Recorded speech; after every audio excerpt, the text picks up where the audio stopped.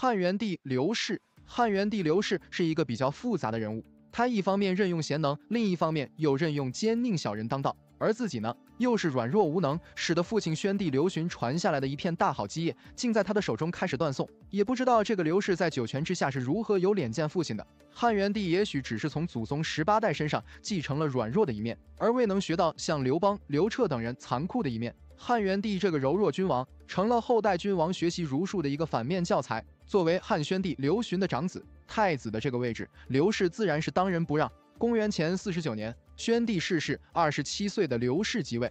这刘氏啊，从小就深受儒家思想之害，长大以后更是将柔仁好儒的性格体现得淋漓尽致。他看到宣帝治国重用刑法，十分不忍，于是劝谏汉宣帝说：“陛下刑罚太深，宜用儒生。”宣帝听后怒形于色，认为汉朝历来杂用霸王二道，刘氏偏好纯儒。恐怕是一个性格如弱、不善用人的低能继承人。他担心刘氏不能继承重任，便有意更换太子。但是呢，又不愿背弃自己已故的患难之妻刘氏的生母许皇后，所以他一面叹息“乱我家者，必太子也”，一面呢，还是把帝位传给了刘氏。没想到，就是他的一念之差，就把大好的西汉江山交给了这样一个败家子。果然，继位的刘氏放弃了杂用王霸之道的传统，重用经学，独尊儒术，尊师重儒。汉武帝提出的罢黜百家、独尊儒术的方针，终于在汉元帝身上得到了贯彻实施。自然，他的师傅和儒生就成为朝中重臣的多数派。宣帝临终之前，曾嘱咐三名大臣辅佐朝政，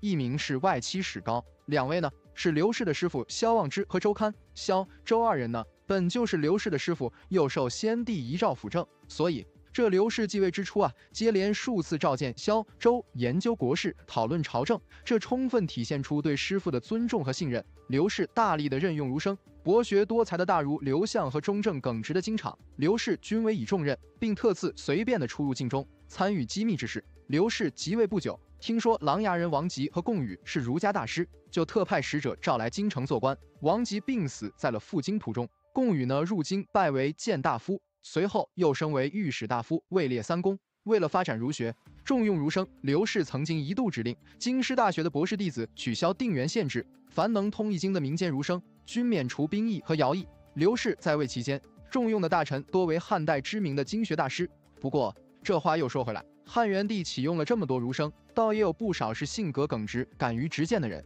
虽然汉元帝有时啊心生不满，但毕竟自己重儒，因而对于直言极谏的儒者多不怪罪。儒生薛广德敢于直言，有时候甚至搞得刘氏很难堪。有一次，刘氏出宫中便门到宗庙祭祀祖先，忽然产生了乘船观水的浓厚兴趣，打算呢放弃桥渡的线路，改坐楼船前往宗庙。薛广德拦在刘氏前，脱掉帽子，恭敬地跪在地上磕头，要求刘氏从桥上通过。刘氏让他戴上帽子起来。薛广德说：“陛下不听为臣规谏，臣将自刎，用鲜血污染车轮，那时陛下就不能进庙去祭拜祖先了。”刘氏听后很不高兴。光禄大夫张猛对刘氏说：“陛下，臣听说有圣明的君主才会有敢言的直臣。乘船危险，走桥安全，圣明君主不靠近危险。御史大夫的话是应该听从的。”刘氏瞪了薛广德一眼，于是从桥上通过了。这个故事充分说明，汉元帝在深受儒家思想桎梏的环境中，要想有点脱离传统的创造性作为，已经是不可能的了。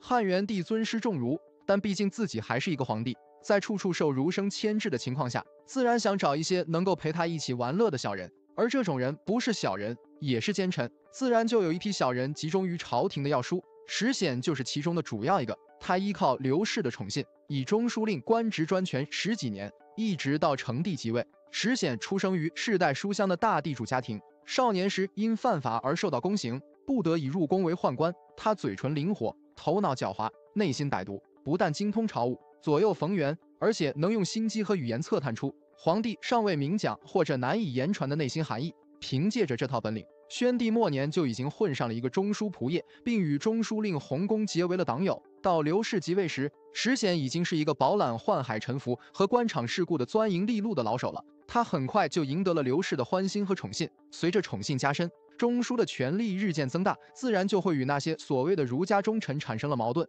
于是，朝中形成了以洪公石显为首的中枢势力和以萧望之、周刊为首的儒家势力的对立局，双方明争暗斗，愈演愈烈。萧周二人向刘氏提出废除中枢机构，试图根除石显等一伙，夺回朝廷大权。刘氏性格柔弱，因此采取折中的态度，对废除中书之意久治不决。而石显弘公则及时行动，数次设计，先是逼萧望之自杀，而后又气死了周刊。虽说这刘氏啊怜惜师傅，而且还把周刊的职位加在了石显之上，但是最终还是中了石显的计谋。从此，正直派官员失去了首领，更处于被动和困难的境地。汉元帝在位期间，他也采取了一些政策，希图振兴国家，但是终因积弊太深，刘氏本人又软弱无能，宠信奸臣，未能如愿。刘氏继位之初。他的师傅和群儒纷纷进谏，要他禁奢靡，行节俭。贡与即指出，高祖文景之时，皇帝宫女不过十多人，就马百余匹；后来日益奢侈，后宫子女竟达数千人，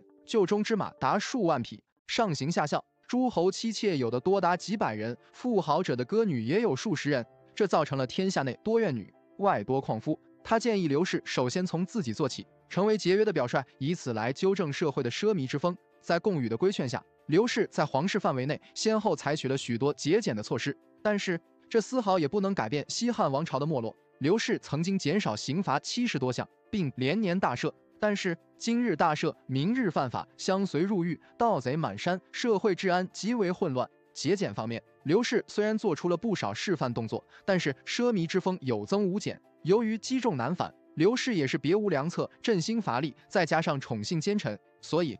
这朝纲不整，地方吏治败坏，以致贪官暴敛，酷吏横行，哀嚎遍野，民不聊生。西汉王朝只有向下坡路滑去了。这刘氏做太子的时候，姬妾美人众多，可是他独宠司马良娣。这司马良娣去世之后啊，刘氏这个性情中人还能做到用情专一，从此不再亲近众姬妾。宣帝刘询无奈之下，选美女王政君入宫，也就把后来灭了西汉的王氏外戚集团推上了历史舞台。这个王政君呢？注定要成为王氏外戚集团的创始人，只陪伴了刘氏一夜，就怀上了刘骜。这刘骜诞生后，宣帝非常喜爱，亲自给他起名为骜，常留在身边玩耍。刘氏即位后，自然就把这刘骜立为太子，立王政君为皇后。但刘氏并不爱他，所以王政君很少能够亲近刘氏。到了晚年的刘氏，不亲政事，贪图安逸，他不喜欢皇后。而太子刘骜年少时还能喜好经书儒学，后来却贪恋酒色。刘氏发现自己的儿子不能将自己独尊儒术的方针继承下去，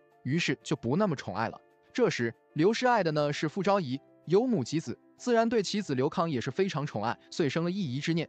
公元前三十三年，刘氏病重，傅昭仪和刘康常侍左右，而皇后王昭君和太子刘骜悉得觐见呢。刘氏几次问尚书关于景帝废除太子而立胶东王刘彻的旧例，打算易楚。皇后王昭君、太子刘骜和刘骜的舅舅王凤日夜忧愁，不知道该如何是好。这史丹是刘氏的亲密旧臣，能入镜中看望刘氏。他趁刘氏独寝时，径自的闯入卧室，跪在刘氏面前哭诉说：“皇太子以嫡长子立为太子已有十多年，名号在百姓心中，天下无不归心。现在鉴定逃亡受陛下深宠，纷纷传说陛下打算易楚，道路流言，满城风雨。若果有此事，公卿以下的满朝文武必定以史相争，拒不奉诏。愿陛下先赐臣使，以示群臣。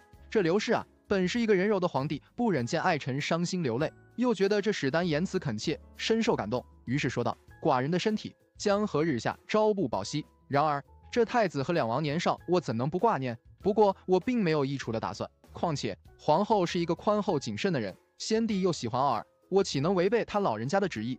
你都是从哪儿听到这些闲话的？”史丹借着刘氏的话茬，连连叩头说：“愚臣望闻胡说，罪该万死。”刘氏说：“我的病日益沉重，恐怕不能好了。你们要尽心的辅佐太子，不要让我失望。”从此，刘氏打消了更换太子的念头。当年五月，刘氏始于未央宫，在位十六年，终年四十三岁。